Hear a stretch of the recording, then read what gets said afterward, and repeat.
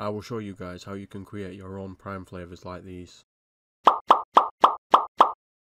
Submit your designs by tagging me, hashtag prime creations. I will be reviewing all your designs in a video and the winner will win some prime lemonade. Okay, so all you need to do is have Adobe Photoshop on computer. If you don't have it, the link is in the description. And the link for the prime bottle template is also in the description. Once you get the template downloaded, open it on Adobe Photoshop by double clicking it. Now what you need to do is double click on this input your design layer and it will open up a new tab and then you can input your own design. Let's say you want to do a PewDiePie prime. All you need to do is copy and paste the PewDiePie texture on top of here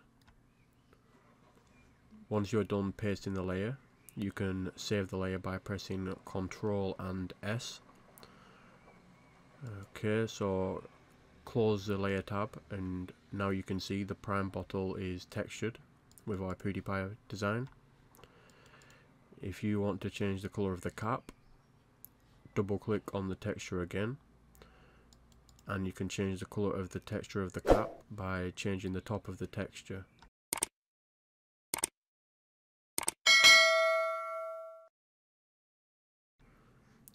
let's see if it changed.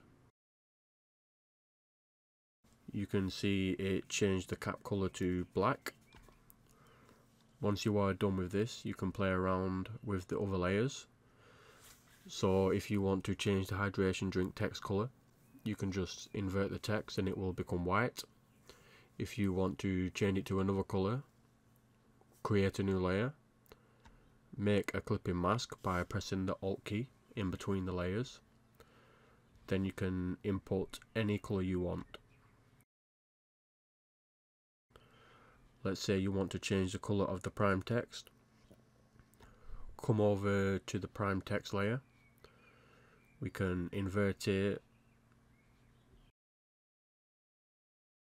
Make a new layer. Make a clipping mask by pressing the alt key again. Then you can color it in any color you want